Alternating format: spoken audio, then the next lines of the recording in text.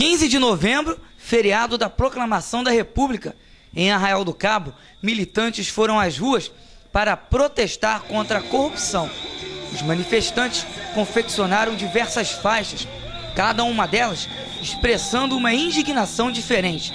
Saúde, democracia e até a empresa que faz o serviço de transporte na cidade foi citada.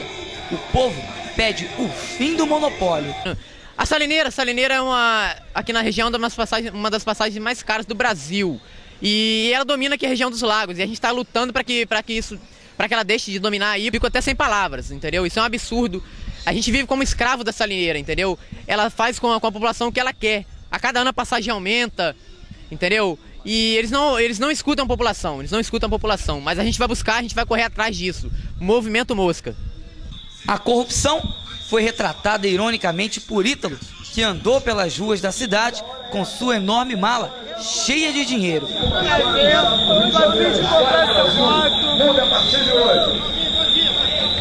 Esse rapaz trazia nas mãos o caixão, simbolizando a necessidade do enterro e do fim da corrupção, não apenas em Arraial do Cabo, mas também em todo o Brasil. Qual é o objetivo dessa manifestação que está sendo realizada aqui hoje em Arraial do Cabo?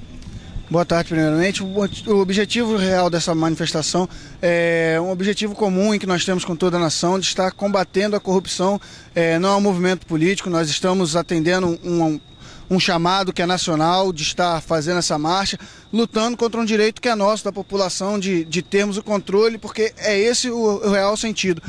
A marcha foi escolhida para o dia 15 justamente pelo sentido de democracia. Nós queremos uma democracia que funcione de verdade, em que a impunidade ela não venha estar acontecendo, que nós possamos estar tendo real controle e que nós possamos estar sim cobrando daqueles que estão lá no poder para que possam estar fazendo não o que eles querem, mas sim o que a população precisa. Esse aqui é o movimento Mosca, que é um movimento sociocultural anarquista. Nós não temos partido político, nós estamos em busca da melhora, sempre, sempre caminhando junto com a população, buscando a melhora para a cidade correndo atrás do nosso, dos nossos direitos.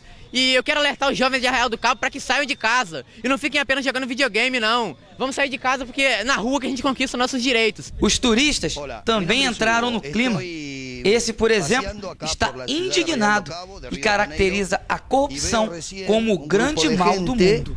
Que, digamos, está em contra da corrupção, o mal de los tiempos. Todos los gobernantes, tanto en la Argentina como veo que también pasa acá, es el mal de estos tiempos. Se ve que no hay gente que sea sana. Todos quieren un puesto para defender a su familia, a sus hijos, toda su descendencia. Corrupción. Es el mal de los tiempos y lo paga la gente. La gente paga la corrupción. Ese tipo de corrupción mata gente. Los organizadores pretende fazer o manifesto também em outras ocasiões.